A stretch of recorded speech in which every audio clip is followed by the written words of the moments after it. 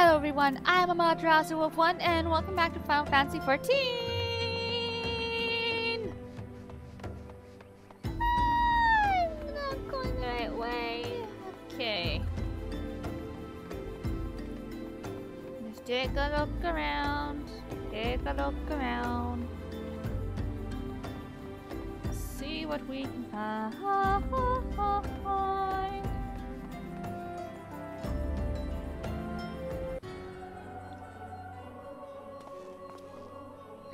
I am told that you are the warrior of light, but I to know for myself. I shall walk north, and you may choose to follow. Know, however, that you will be waylaid if you do. You may even perish. Should you survive, I, we shall speak anon. Well. Ninja gear time.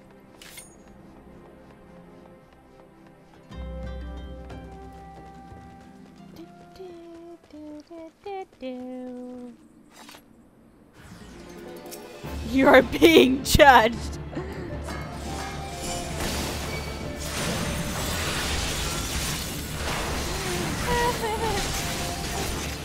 I am being judged.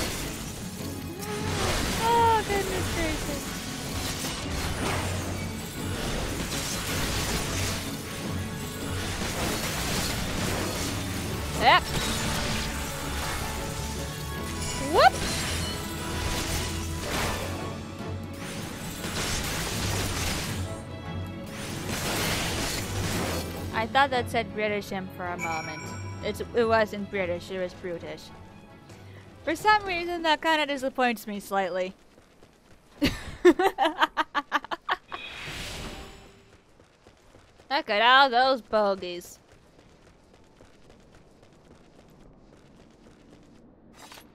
I'm still being. Whoa.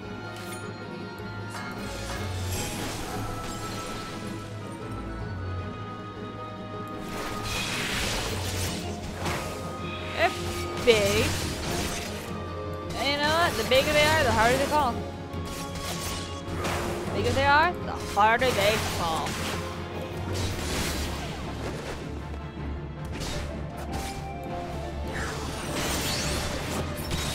Bam.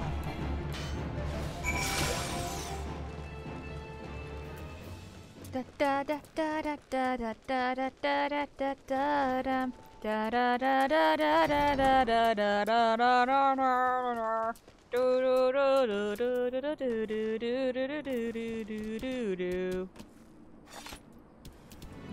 Oh, now there's two of them.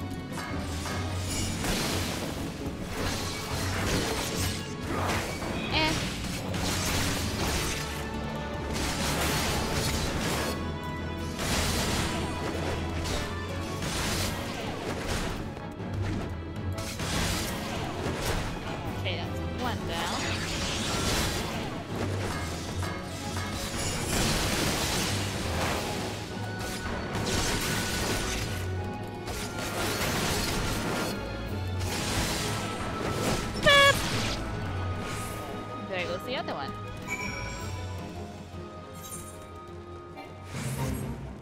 Don't care, Fate! Laughing Toad. Why are they laughing toads?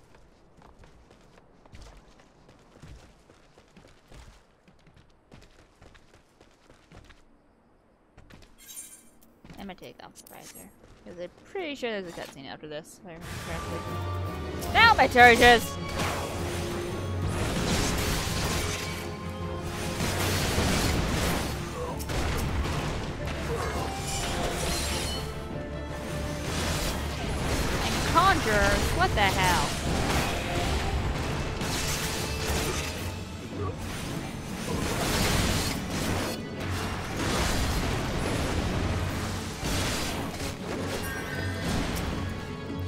You didn't cast time and now you're dead. How do you feel about that? Oh.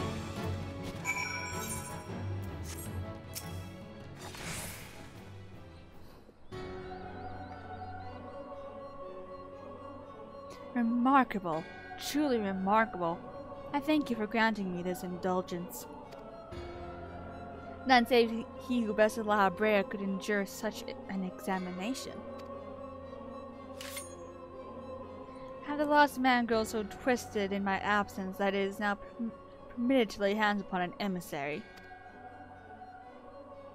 You bore witness to my audience with the Addisons, did you not?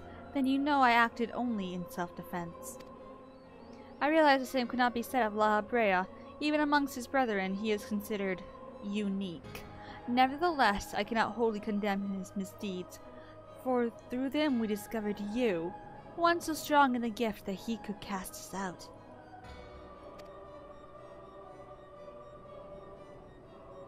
Your mother favors you still, that much is plain, but surely you must feel it.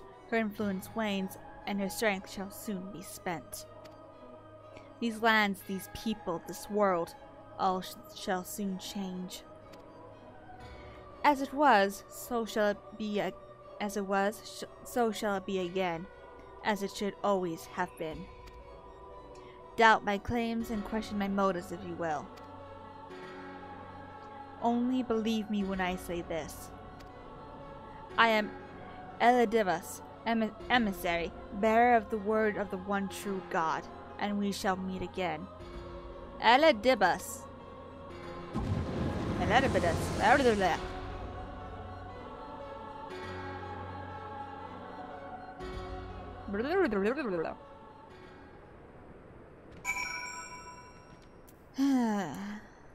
Back to the waking sands. I'm going the wrong way. I can put on my normal clothes again. I like my normal clothes. There we go. That's better.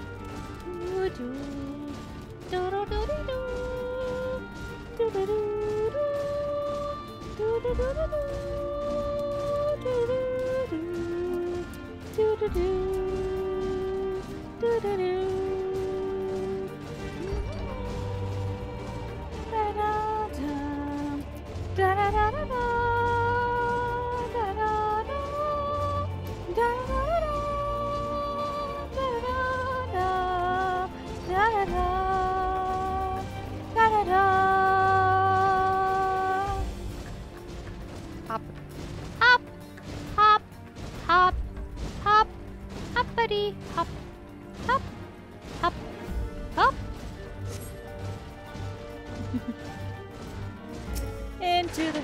Waking I go.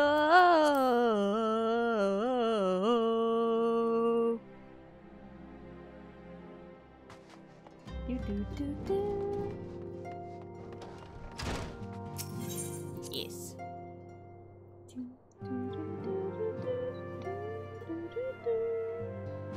Hello. Thank the gods you've returned, Sirith. After you left, I began to worry that I might have sent you to your doom. I take it our visitor proved elusive. Beg pardon? He was waiting for you? What did you do? What did he say? And as it was, sh so shall it begin. As it was, so it shall be again? Of, of when does he speak? And of what exactly? The words of this Elidibus port portend much but reveal nothing, save perhaps a measure of disdain for Lahabrea. Oh, I had hoped for answers, but it seems I shall be content. Uh, but it seems I shall have to be content with a wealth of additional questions. Complete. Let us, let us set aside the matter of this Ascian until after we have completed our move to the Rising Stones. There is but one final favor I would ask of you before I depart. I believe I mentioned that I believe I mentioned before that my father was a member of the Ala Mhigan resistance. The truth, however, is more complicated than that.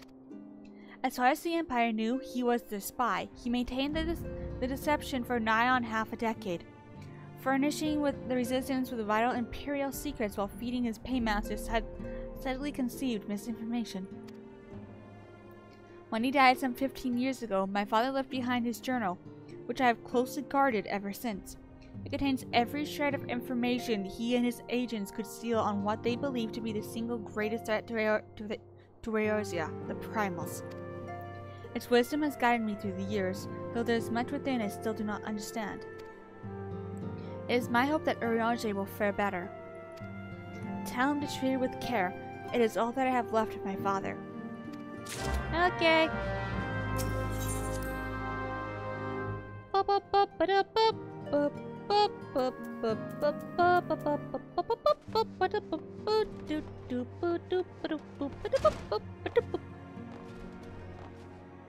Jump, jump, jump, jump, jump.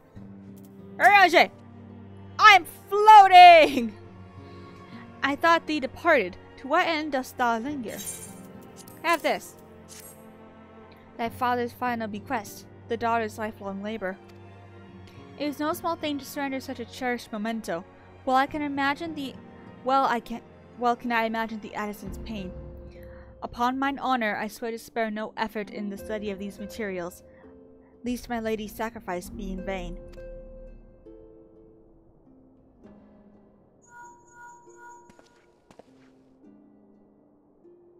Sire, this is Minfilia. Forgive me, but I could wait no longer. I have departed for the Rising Stones. If if you have yet to. Once you have given the journal to Urianger, I bid you to come to the seventh heaven in Revenant's Toll. Tataru will be there to show you inside our, our new headquarters. Assuming you have already attuned to it, you may wish to make use of your new Aetheryte in Revenant's Toll. After all, it is right on, right on our doorstep.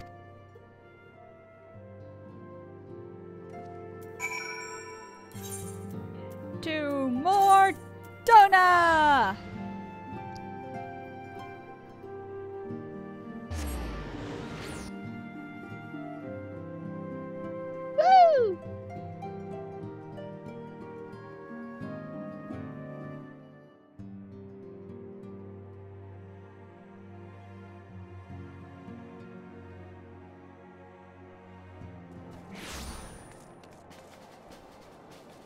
Go over here. Yes.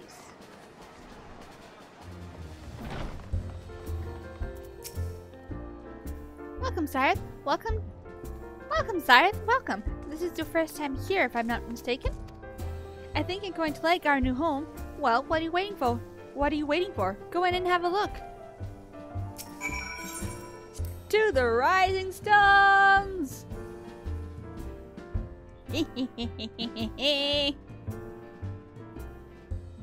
Welcome to the Rising Stones. This is our new hangout. It's pretty and nice and stuffs.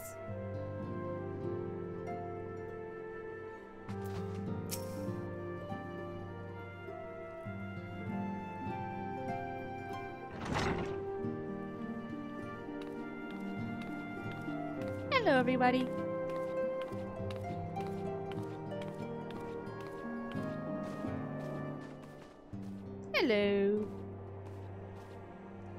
Well, it is certainly spacious.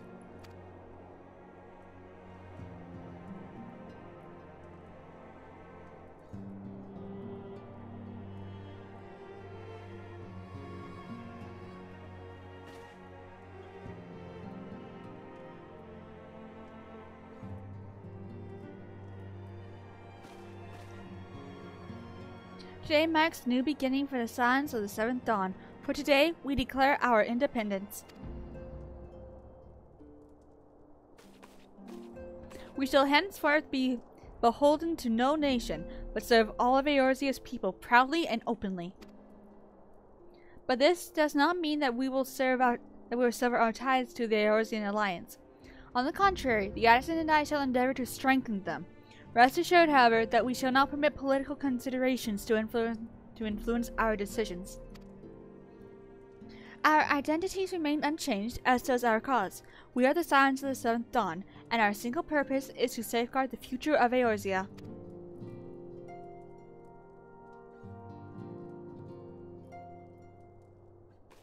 For Eorzea!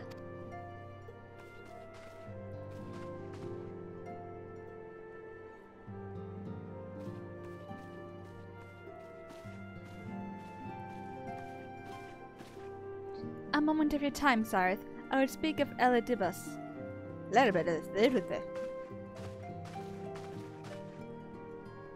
Pardon my intrusion, my lady, but the matter which bringeth me will admit no delay.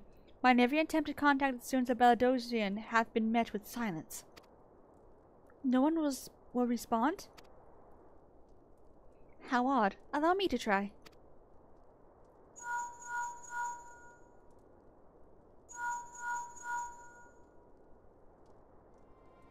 No response.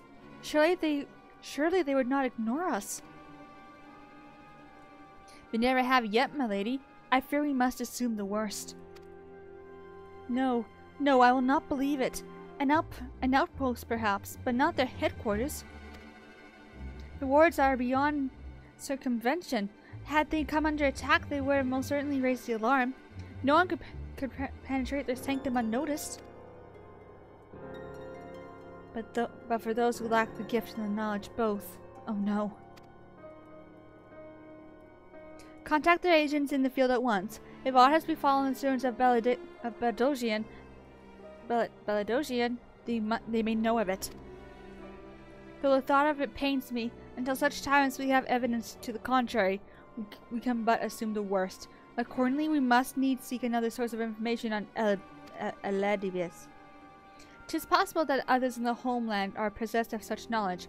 Be fairly warned, however, they are unlike they are unlike to yield it unconditionally. Do what you must.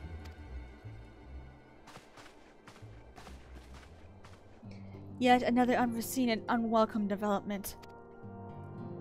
What could be next, I wonder? A visit from the from a crimson-clad Ascian, perhaps, or an or Orcher, or Puce, and which of our allies will will then be and which of our allies will then fall silent? For a time, I thought we had gained the upper hand. when you shattered the crystal of darkness that cast out Lahabrea, I dared to hope that we had found a way to rid ourselves of the Ascian menace. But I was wrong. He endures and may yet return. Upon that point, I have no doubt that El Elidibus spoke true. Yet there must be a way to destroy them utterly, a way to strip this world of their unholy machinations. I dare not consider the alternative. There are forces that there are forces at work that we do not understand, Zareth.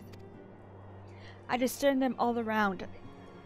In the disturbances in disturbances too great and too numerous to be dismissed as mere coincidence. Doubtless the paragons are involved, but how and to what end is far from clear. I know not what will come, but I do know that we will rise and meet it as one. Ah, my stalwart hero, your face is a picture of resolve. I know that you will be ready when the time comes. With luck, however, that that will not be for a while yet. Pray return to your private affairs with my blessing. Should anything arise, you will be informed.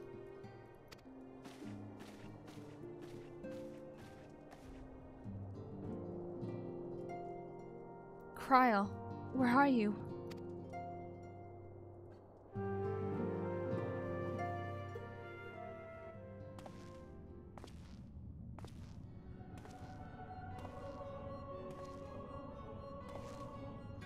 Your intercession was not foretold.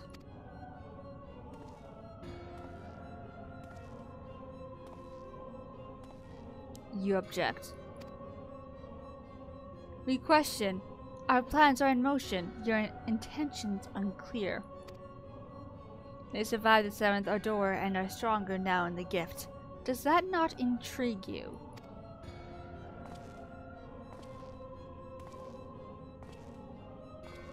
No, it does not.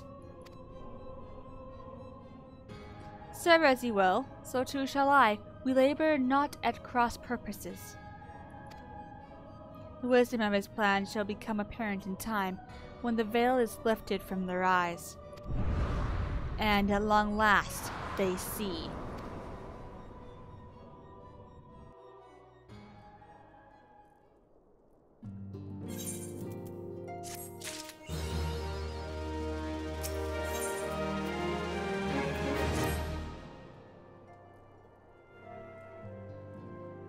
Truly there is no rest for the weary, Scarce had I be Scarce had I begun to make myself at home when I received a request for assistance from Amajina Sons and mineral concern.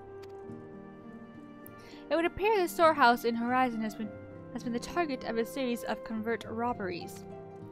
Minor as they seem, minor as they seem in isolation, occasional discrepancies in the manifests were long dismissed as clinical, as clerical errors. It was only during the concern's annual audit that a pattern became apparent. Significant quantities of crystals, and only crystals, were missing. I need hardly tell you what that may. I need hardly tell you what that may imply.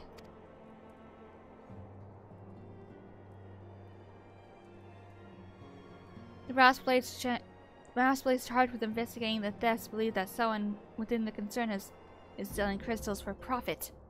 Alas, they have yet to they have they have as yet been unable to identify a likely suspect, and the concerned profiteers have grown frustrated by their lack of progress. Needless to say, I would not have agreed to intervene had the stolen good, goods been merely have been of merely monetary value. There is even a possibility that the thief acts not out of self-interest, but in service to a primal. We can ill afford to wait for the blades to realize the mistake. Pray depart for Horizon at your earliest convenience. Rendezvous with Y'shtola when you arrive. She and Thancred have already begun a, a preliminary investigation. I have every confidence that the three of you will get to the bottom of these thefts. I only hope our fears are proved unfounded when you do.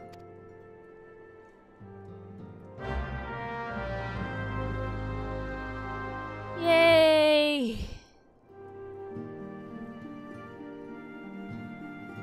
More crystals and probably more primals. Whoop-de-doo!